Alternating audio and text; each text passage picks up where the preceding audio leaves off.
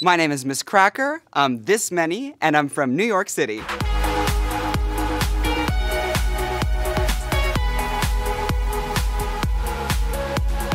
My name Miz Cracker comes from my favorite snack, Brie on a Cracker. That was my original name, but it was too much. So now it's just Cracker. Miz Cracker is thin, she's white, and she's very salty. If that doesn't make her a cracker, I don't know what will. Someone described my style as Jewish Barbie on bath salts. I think that sums it up. I'm very lucky to be the daughter of Bob the drag queen. She's funny, I'm funny looking, we keep funny in the family. Drag is for itself, and that's what makes it great.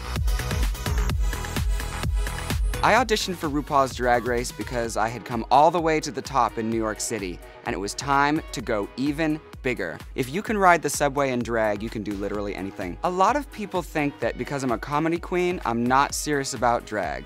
Well, they about to find out. I think I have an edge in this competition because I can do everything that these girls can do, but I'm the smartest wit that has ever set foot on this motherfucking set. Look out, Bianca Del Rio. You should have finished high school.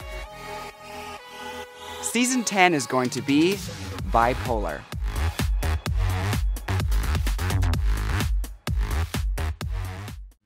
Hey beauties, it's Sasha Velour, the winner of RuPaul's Drag Race Season 9.